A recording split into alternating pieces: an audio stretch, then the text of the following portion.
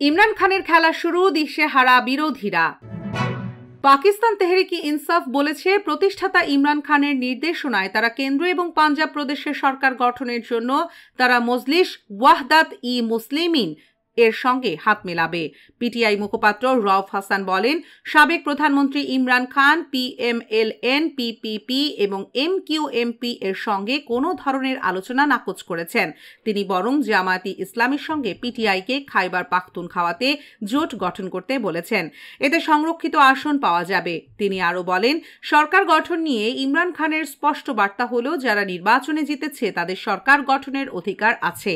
রফ হাসান বলেন, গণতান্ত্রিক মূল্য মূল্যবোধের জন্য দলের রাজনৈতিক সংগ্রাম চলমান রাখতে পিএমএনএল পিপিপি এবং এম এমকিউএমপি ছাড়া আর সব রাজনৈতিক দলের কাছেই যাওয়ার এখতিয়ার আমাকে দিয়েছেন ইমরান খান।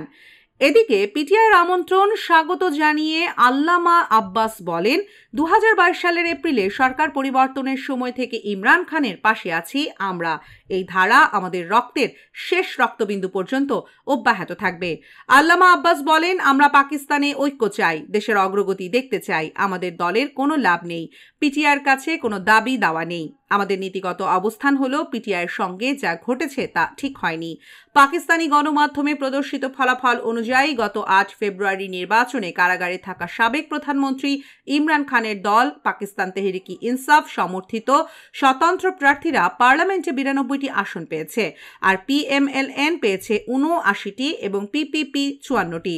সরকার গঠনের জন্য কোনো দলই সাধারণ সংখ্যাগরিষ্ঠতা না পাওয়ায় পিএমএলএন এবং পিপিপি দুই দলের জন্যই গুরুত্বপূর্ণ হয়ে উঠেছে স্বতন্ত্র প্রার্থীরা। পিটিআই সমর্থিত স্বতন্ত্ররা জাতীয় পরিষদে সবচেয়ে বেশি আসনে জয় পাওয়ার পর এখন কোনো একটি দলে যোগ দেওয়ার জন্য তারা সময় পাবে বাহাত্তর ঘণ্টা ফলে পিটিআইকে এরই মধ্যে এম ডাব্লিউ এম এর সঙ্গে হাত মেলানোর সিদ্ধান্ত নিতে হয়েছে। জাতীয় পরিষদে দলটির আছে মাত্র একটি আসন। পাঞ্জাবের সরকার গড়তে হলে দলটিকে স্বতন্ত্রদের পাশাপাশি অন্যান্য দলের সঙ্গেও যোগ দিতে হবে।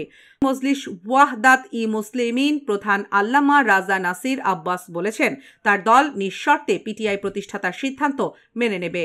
পিটিআইয়ের বর্তমান চেয়ারম্যান ব্যারিস্টার গহর আলী খান আলাদা এক বিবৃতিতে বলেছেন, দল প্রধানমন্ত্রী পদের জন্য প্রার্থীর পাশাপাশি পাঞ্জাবের মুখ্যমন্ত্রী এবং খাইবার পাখতুন খাওয়ার স্পিকার এবং ডেপুটি স্পিকারের মতো সাংবিধানিক পদগুলোর জন্য প্রার্থীর নাম ঘোষণা করবে। তাছাড়া পাকিস্তান জামাত ইসলামীর সঙ্গে খাইবার পাখতুন খাওয়ায় প্রাদেশিক সরকার গঠনের নির্দেশ দিয়েছেন পিটিআই প্রধান ইমরান খান। এরপর জামায়াত ইসলামীর সঙ্গে আলোচনা করে পিটিআই।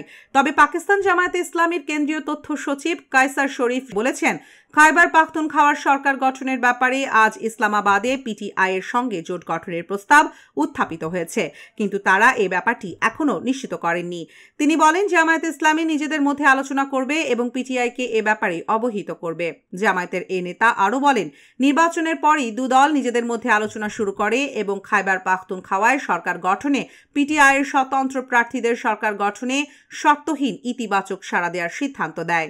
জামায়াতের নেতা আরও বলেন, নির্বাচনের পরই দুদল নিজেদের মধ্যে আলোচনা শুরু করে এবং খাইবার পাখতুন খাওয়ায় সরকার গঠনে পিটিআর স্বতন্ত্র প্রার্থীদের সরকার গঠনে শর্তহীন ইতিবাচক সাড়া দেওয়ার সিদ্ধান্ত নেয়।